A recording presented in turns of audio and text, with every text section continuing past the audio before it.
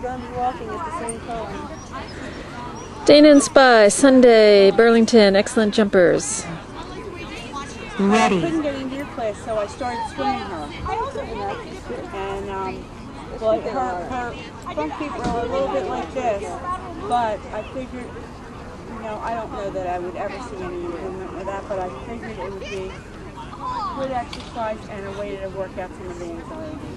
So then it worked out so well. I, I figured that she's, she's going to be swimming. Go, go, go, go, go. So where do you? Nice. One of my best friends uh, helped me. Oh, head plant. He does that a lot. He's such a fast, though, huge jumper.